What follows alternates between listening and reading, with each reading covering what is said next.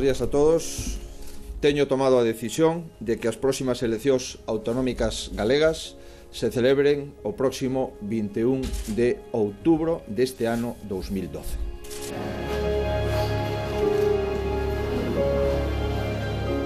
lo que precipita finalmente su decisión, no digo lo que, eh, le, mm, lo que determina su decisión, sino lo que precipita su decisión es la convocatoria vasca.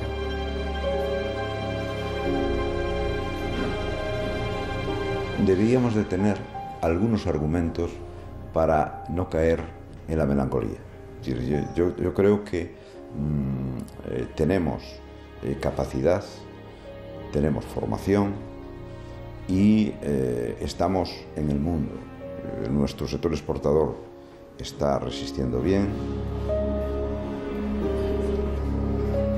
Mientras durante los últimos días miles de personas contemplaban en esta urna el pasado de Galicia en el Códice Calistino, otras urnas se preparan para que los gallegos decidan su futuro inmediato. El códice, esa joya del siglo XII, está protegido bajo un cristal blindado después de hacerse famoso a raíz de haber sido robado por un electricista que lo mantuvo un año oculto en su garaje hasta que fue recuperado por la policía. Las otras urnas aguardan a los votantes de esta comunidad convocados con 130 días de antelación respecto al final de la legislatura.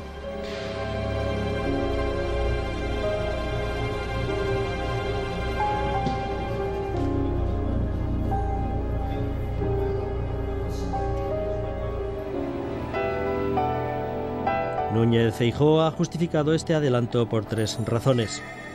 Para evitar que el gobierno que elabore los presupuestos del año que viene tuviese que disolver el Parlamento antes de ejecutarlos si las elecciones se hubieran celebrado a principios de marzo en la fecha prevista, para huir de la mala imagen que supondría para el país y la clase política celebrar elecciones en Galicia solo cuatro meses después de las vascas, y para evitar los efectos de un largo periodo de confrontación política en medio de la grave crisis económica una crisis que va a ser el centro de la campaña.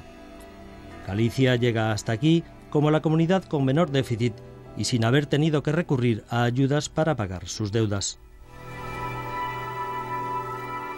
Si usted recorre el mapa de España, observa que hay comunidades autónomas que están eh, disminuyendo la actividad hospitalaria. Aquí se ha incrementado y estamos haciendo hospitales nuevos. Hay comunidades autónomas que han dicho que no pueden pagar a los centros sociales, a los centros eh, concertados de educación, aquí están cobrando los centros sociales, y están cobrando los centros concertados de educación, y están cobrando las farmacias, y está cobrando el transporte escolar. Oiga, aquí se está pagando. Y eso es la obligación primera de un dirigente que quiere ser responsable. Y es primero decirle la verdad a los ciudadanos. Es el primer derecho que tiene un ciudadano, a conocer la verdad de la situación.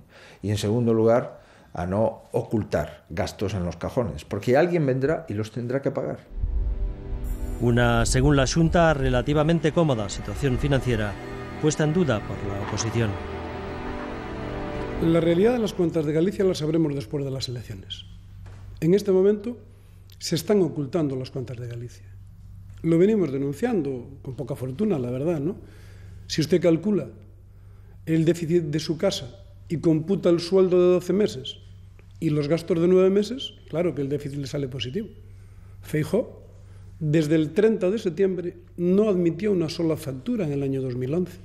El señor Feijó, de lo único de lo que ha presumido en este tiempo, ha sido de ser el primero en aplicar políticas de recortes, pero ni siquiera han servido para equilibrar las cuentas públicas. Durante el periodo fijo, el endeudamiento de la comunidad autónoma ha crecido más que en los 25 años de autogobierno anteriores. Para eh, situarse en, digamos, la rampa de salida de la crisis, había que pasar por una eh, higienización eh, de las cuentas públicas. Yo creo que eso ha sido un paso necesario, por lo tanto era una condición necesaria.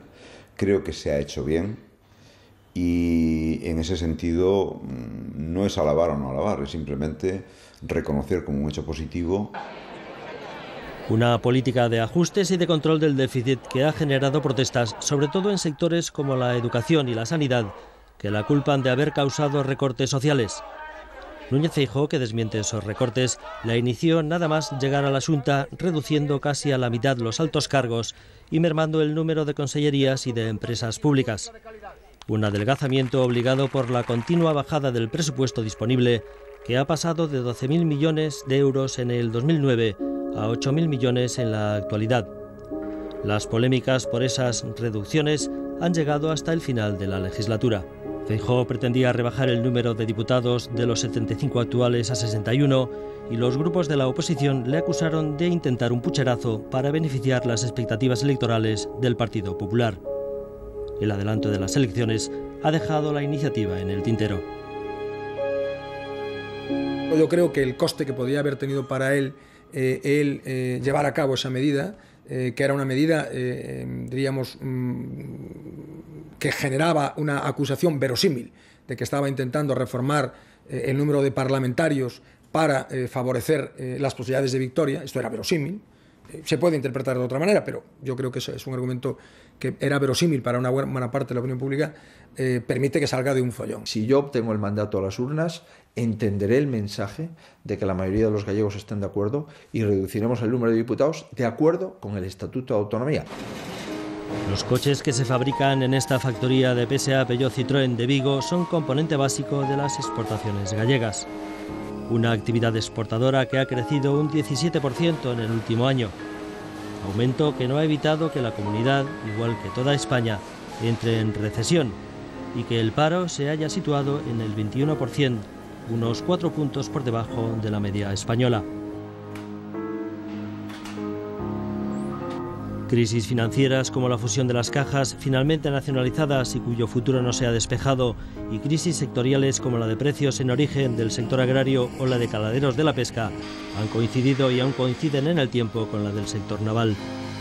Los astilleros se han quedado sin pedidos, aunque ahora mantienen la esperanza de empezar a trabajar después del contrato gestionado con apoyo de la Junta para la construcción de 14 remolcadores y otros barcos para la petrolera mexicana Pemex tenemos en eh, ejecución un contrato de 700 millones de dólares entre barcos y eh, ubicación de esta petrolera en un puerto, concretamente en el puerto exterior de Coruña.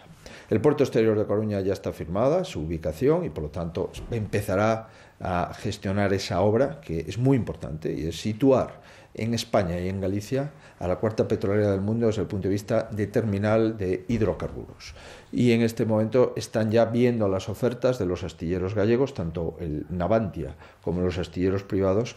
En cambio, no han faltado críticas a lo que la oposición califica de falta de implicación de la Junta en la defensa de determinados sectores.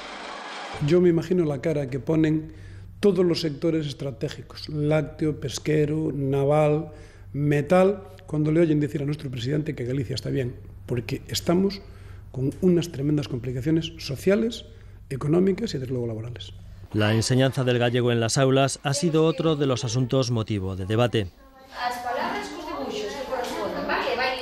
El Partido Popular eliminó las normas que lo primaban en la enseñanza y aunque no contentó a los sectores que pretenden dejar totalmente a la decisión de los padres la lengua de escolarización, contó con la oposición de parte del profesorado y de los sectores galleguistas.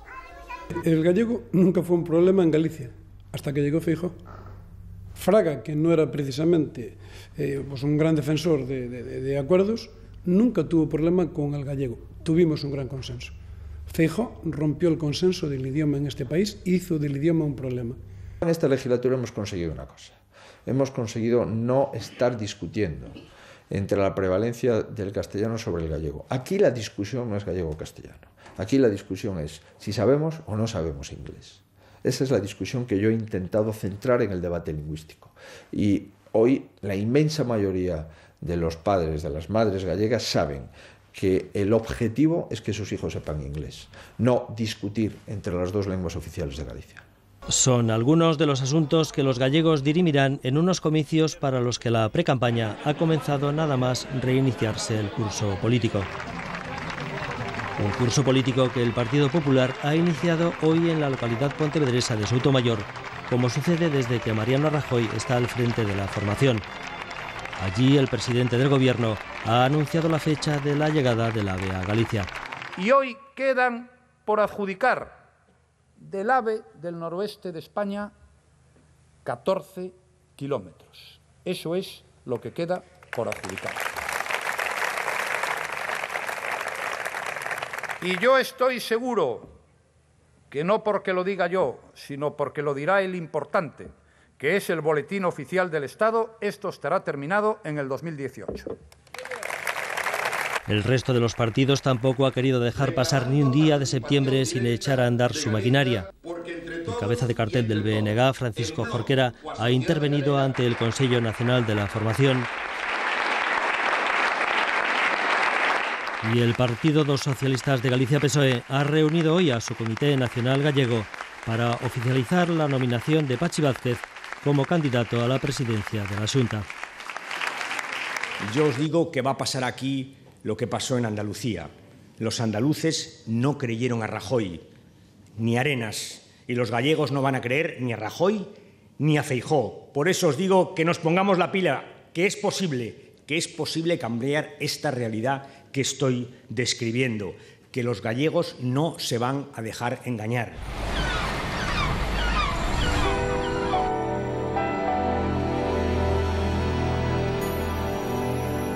Las de octubre se presentan como unas elecciones abiertas en las que podría entrar algún otro grupo en la Cámara gallega, aunque la gran cuestión es saber si el Partido Popular consigue mayoría absoluta para repetir gobierno.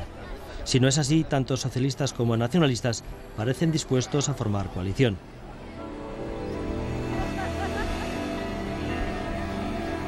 Es muy posible, como nos pasa en muchísimos pueblos de Galicia, ciudades y villas, que podamos reeditar un acuerdo con el bloque nacionalista galego. Es un acuerdo histórico que funciona casi siempre y que reiteradamente se repite con victorias. De darse ese escenario, siempre el diálogo va a ser con un programa por delante.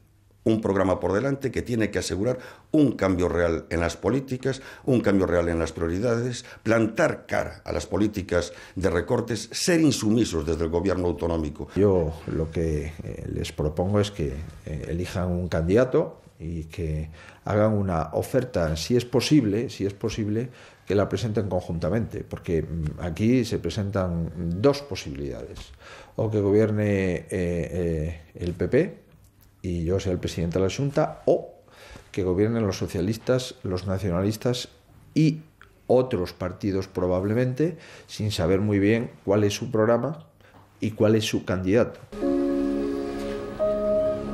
Próximo 21 de octubre, unos 2.600.000 gallegos juzgarán el papel de cada fuerza política, decidirán la composición del Parlamento Autonómico y el rumbo de esta comunidad, asomada al océano en el que acaban los caminos de Europa, donde el sol se oculta todos los días al atardecer frente a los acantilados de la costa.